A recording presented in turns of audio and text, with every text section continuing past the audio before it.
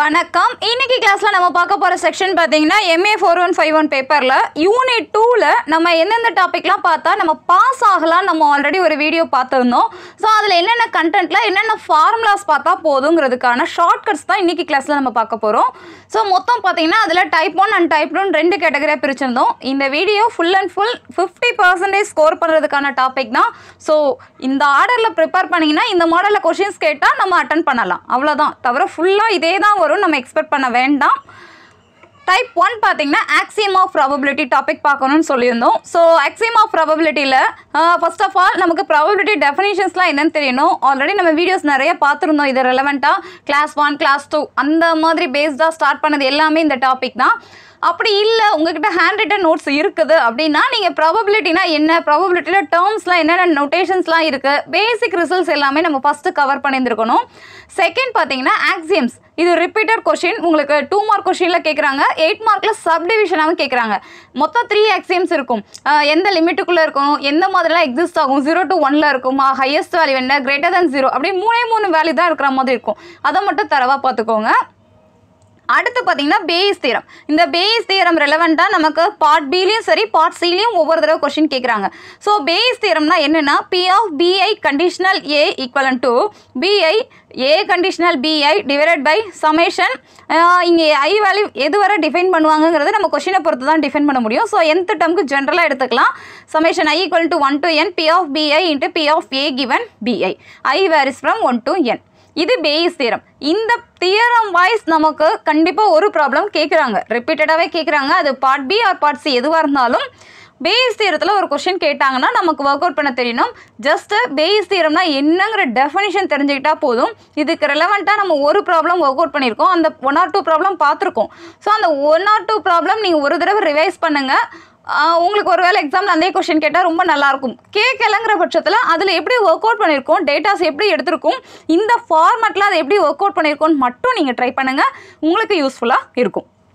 இதில் இந்த கண்டிஷனல் நம்ம ஒரு நோட்டேஷன் யூஸ் பண்ணிக்கோமோ அப்படின்னா என்னன்னா இன் கண்டிஷனல் ப்ராபபிலிட்டி ஃபார்முலா பார்த்தீங்கன்னா P of A given B equal to P of A intersection B divided by P of B if P of B not equal to zero கண்டிப்பாக denominator value ஜீரோவாக இருக்கக்கூடாது. A given B இருந்ததுன்னா intersection value divided by P of pin quote பண்ணுற மாதிரி இருக்கும். இது செகண்டாக second யூனிட்ல நம்ம பார்க்க வேண்டிய செக்ஷன் பேஸ் தீரம் கண்டிப்பாக பார்த்துருக்கணும். அடுத்து டைப் ஒன்ல பார்த்தீங்கன்னா மொமெண்ட் ஜெனரேட்டிங் ஃபங்க்ஷன் ஒரு டாபிக் பார்த்துருந்தோம். So moment generating function MGF எப்படி பார்ப்பாங்கன்னா இதில் ரெண்டு கேட்டகரி டிஸ்கிரைட் டைப்னா என்ன கண்டினியூஸ் டைப்னா என்னன்னு ஸ்ப்ளிட் பண்ணுவாங்க. ஸோ டிஸ்கிரைட் டைப்பில் பார்த்தீங்கன்னா summation E power T X into P X discrete அப்படின்னாலே உங்களுக்கு டேட்டா டைரெக்டாக கொடுத்துருப்பாங்கன்னு அர்த்தம். அப்போ சம் ஆஃப் தி டேர்ம்ஸ் அந்த ஆர்டரில் நம்ம சமேஷன் கோட் பண்ணுவோம். பி ஆஃப் எக்ஸ்னா ப்ராபபிலிட்டி ஃபங்க்ஷன் கண்டினியூஸ் டைப்பில் உங்களுக்கு ஒரு கொஷின் கேட்குறாங்க அப்படின்னா இன்டர்வெல்லில் கொடுத்துருப்பாங்க. Zero less than X less than one zero less than Y less than one இந்த ஆர்டரில் கொடுத்துருப்பாங்க. ஸோ அப்படி கொடுக்குறாங்கன்னா interval minus infinity infinity E power T X F of X if X is continuous இந்த மாதிரி கோட் பண்ணும். ஒவ்வொரு ப்ராப்ளத்துலையும் என்னென்ன கண்டிஷன்ஸ் இருக்குது இப்போ ஒரு ப்ராப்ளம் கொடுக்குறாங்க ஃபைண்ட் எம்ஜிஎஃப்னா நீங்கள் இந்த டெஃபினேஷனை ஃபஸ்ட்டு ஹைலைட் பண்ணுங்கள் அதுக்கடுத்து ப்ராப்ளத்தில் என்னென்ன டேட்டா கொடுத்துருக்காங்களோ அதை எழுதுங்க. இந்த டேட்டாஸ்க்கும் இந்த ஃபார்மேட்டுக்கும் என்ன லிங்க் இருக்குது இந்த மாதிரி கொஞ்சம் எக்ஸ்டெண்ட் பண்ணுங்கள் ஸ்டெப்ஸ் மார்க் நமக்கு கண்டிப்பாக அலாட் பண்ணுவாங்க. ஸோ இது எல்லாமே பார்த்தீங்கன்னா டைப் ஒன் ரெலவெண்ட்டான டாபிக்ஸு டைப் டூ பார்த்தீங்கன்னா டிஸ்ட்ரிபியூஷன் ரெலவெண்ட்டான ப்ராப்ளம்ஸ் இதில் கவர் ஆகும். ஸோ மொத்தம் ஏழு டிஸ்ட்ரிபியூஷன் இருக்குன்னு நம்ம பார்த்துருந்தோம். இந்த ஏழு டிஸ்ட்ரிபியூஷன்லையுமே MGF mean value mean value variance value and problems எது எப்படி கேட்பாங்கன்னு தெரியாது. சில சமயம் தியரி கொஷின் கேட்கலாம் சில சமயம் ப்ராப்ளம்ஸ் கொஷின் கேட்கலாம். எப்படி கேட்டாலும் நமக்கு இந்த பேசிக் ரிசல்ட்ஸ் எல்லாமே தெரிஞ்சிருந்தால் போதும். அட்லீஸ்ட் இதையாவது நம்ம பேப்பரில் கோட் பண்ணிட்டா ஓகே அப்படிங்கிற அளவுக்கு நமக்கு மார்க்ஸ் கிடைக்கும். பைனாமியல் டிஸ்ட்ரிபியூஷன் அப்படியே இருந்ததுன்னா பி ஆஃப் எக்ஸோட value N C X P power X Q power N minus X இங்கே எக்ஸோட வேல்யூ ஒன் டு என்ன இருக்கும். கியூவோட value one minus P steps mark நமக்கு இந்த பைனாமியல் டிஸ்ட்ரிபியூஷன் இதில் மீன் வேல்யூ வேரியன்ஸ் வேல்யூ இதெல்லாம் கோட் பண்ண கண்டிப்பாக கொடுப்பாங்க. ஸோ பைனாமியல் டிஸ்ட்ரிபியூஷன்னா நமக்கு இந்த இந்த கண்டிஷன்ஸ்லாம் இருக்குன்னு தெரியணும். ஒருவேளை உங்களுக்கு பைனாமியல் டிஸ்ட்ரிபியூஷனில் ஒரு ப்ராப்ளம் கொடுக்குறாங்கன்னா இந்த டேட்டா எல்லாம் கொடுத்துருப்பாங்க. பி கியூ எக்ஸ் என் இதெல்லாம் எக்ஸ்னால் நமக்கு கொஷின் கேட்டிருப்பாங்க. ஹவு மெனி டேர்ம்ஸ்ங்கிற மாதிரி. என்னங்கிறது டோட்டல் நம்பர் ஆஃப் டேர்ம்ஸ் இதெல்லாம் கொடுத்துருந்தாங்கன்னா நம்ம இதில் அப்லோட் பண்ணணும். அப்படிங்கிறப்ப நமக்கு இந்த கண்டிஷன் கண்டிப்பாக தெரிஞ்சிருந்துருக்கணும்.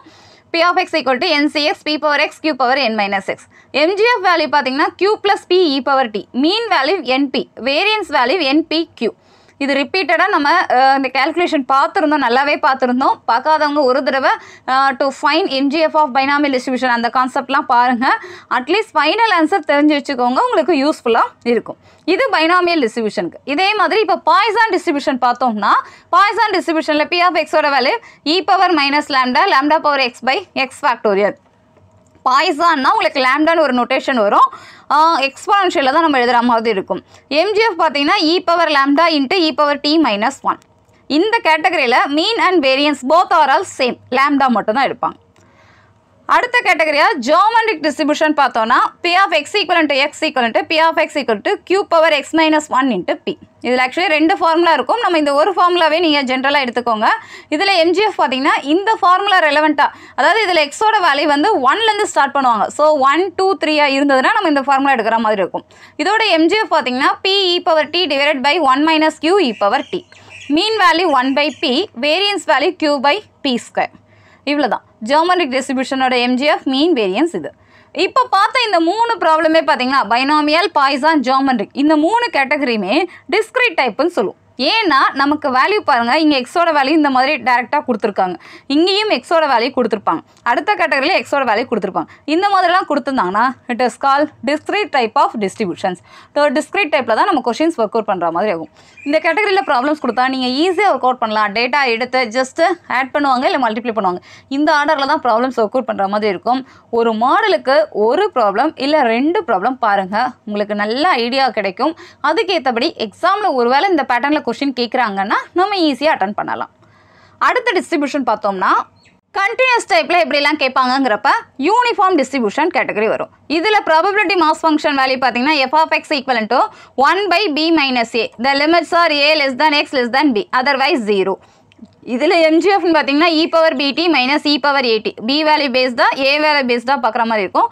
Divided by difference B minus A into T mean வேல்யூனா B plus A by two variance B minus A whole square by twelve இவ்வளோதான் யூனிஃபார்ம் டிஸ்ட்ரிபியூஷனில் பார்த்தீங்கன்னா ரிப்பீட்டடாக ப்ராப்ளம்ஸ் கேட்குறாங்க இன் பிட்வீன் த இன்டர்வல்ஸில் ஏபியில் ஏதாவது ஒரு டேர்ம்ஸ் கொடுத்துட்டு ஒரு point minus two two two கொடுத்து கண்டிஷன் வைஸ் கேட்குறாங்க ஸோ நமக்கு மீன் வேல்யூ வேரியன்ஸ் வேல்யூ இதில் கண்டிப்பாக தெரிஞ்சிருந்துருக்கணும்.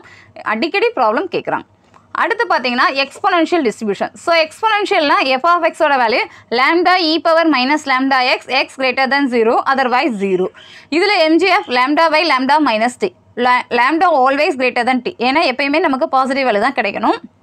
Mean value one by lambda variance value one by lambda square எக்ஸ்போனன்ஷியலில் problems கேட்குறாங்க இதில் மீன் வேல்யூ ஈஸியாக பார்த்துடலாம் டேட்டா உங்களுக்கு லேம்டா வேலையெல்லாம் கொஷினில் கொடுத்துருப்பாங்க. டேரெக்டாக நம்ம அப்ளை பண்ணுற மாதிரி தான் இருக்கும். ட்ரை பண்ணுங்கள் gamma distribution so gamma distribution பார்த்தீங்கன்னா காமா அப்படின்னு ஒரு வேர்ட் கொடுத்துருக்காங்களா? அப்போ நமக்கு இந்த நொட்டேஷன் ஞாபகம் வரணும். காமான இந்த ஆர்டரில் நம்ம எழுதுறது. F of X equal to E power minus X X power lambda minus one divide by gamma of lambda lambda always greater than zero எக்ஸோட value in between the interval zero to இன்ஃபினிட்டியில் exist ஆகணும்.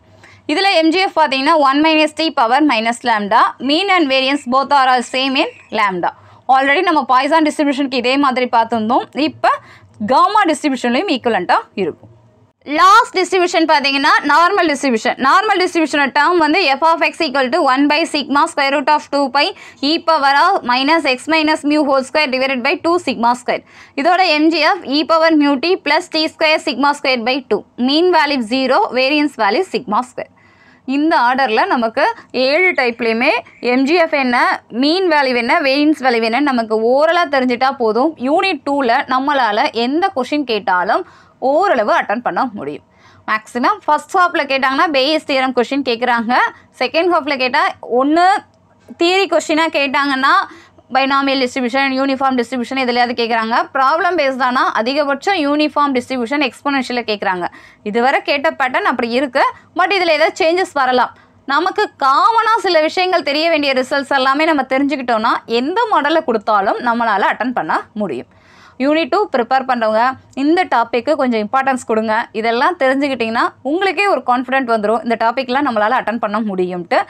Doubt இருந்ததுன்னா கணித பழகி mail அனுப்புங்க. Thank you